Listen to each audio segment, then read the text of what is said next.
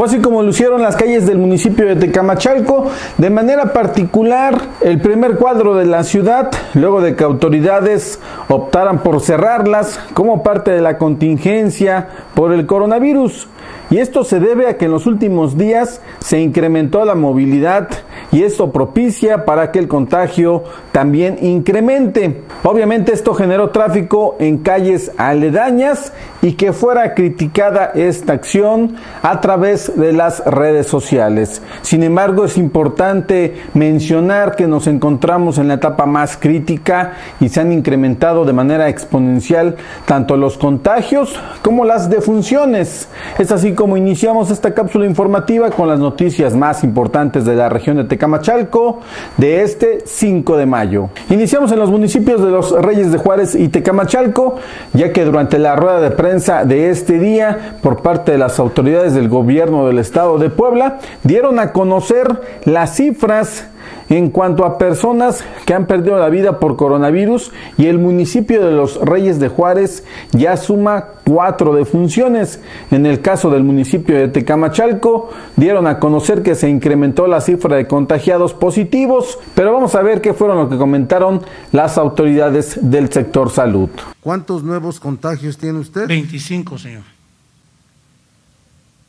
25. Sí, señor. Bueno. Dígame usted en qué municipios. Estamos hablando de siete en Puebla, municipio de Puebla, uno en Huejotzingo, uno en San Salvador Verde, uno en Chignahuapan, uno en Chautzingo, otro más en Tecamachalco. Sí, ¿Cuántos señor. fallecidos tiene usted nuevos, doctor? Desafortunadamente, señor, eh, se presentaron ocho casos más. ¿En qué municipios?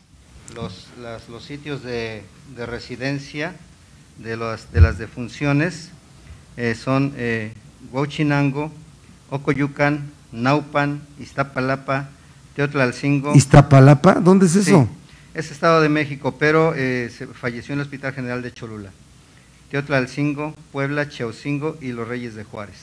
Y hablando precisamente sobre los casos positivos de coronavirus y las defunciones, pues en el municipio de Quecholac ya se registró el primer deceso, así lo confirmó a través de sus redes sociales el presidente municipal Alejandro Martínez Fuentes, quien lamentó este deceso de la primera víctima de coronavirus en este municipio.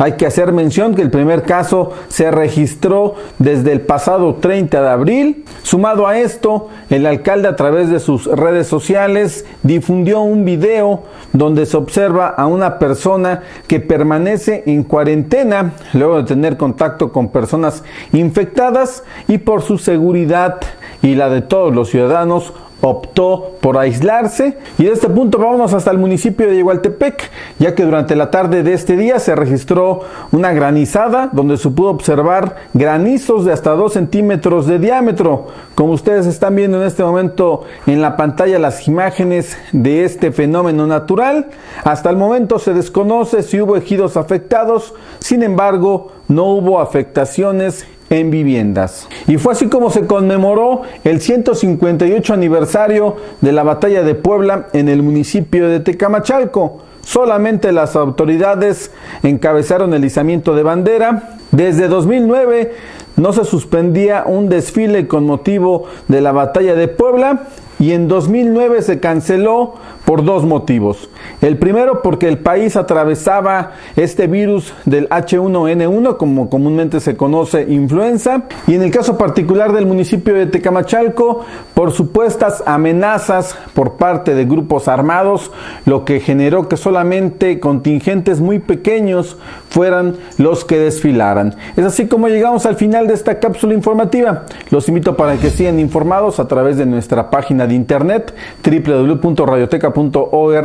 en nuestras redes sociales que están apareciendo en este momento en la pantalla. Los invito para que se suscriban a nuestro canal de YouTube activen la campanita para que les lleguen las notificaciones, sigan informados a través de Radioteca. Agradezco a todos aquellos que comparten todos los días las cápsulas, sus comentarios, sus sugerencias, los leemos y también los estamos observando en este momento en la pantalla. Sigan informados a través de Radioteca.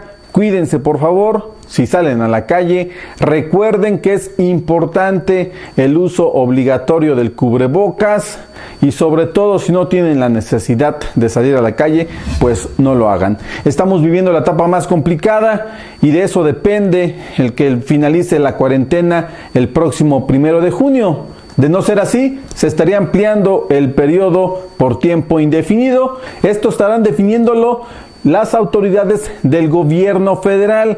Aquí no lo decide ni los presidentes municipales ni el gobernador. Todo depende de las condiciones en las que se encuentre nuestro país y lo decide un grupo de expertos quien asesoran al presidente de la República. Sigan informados a través de Radioteca. Yo me despido de todos ustedes y nos vemos muy pronto. Hasta luego.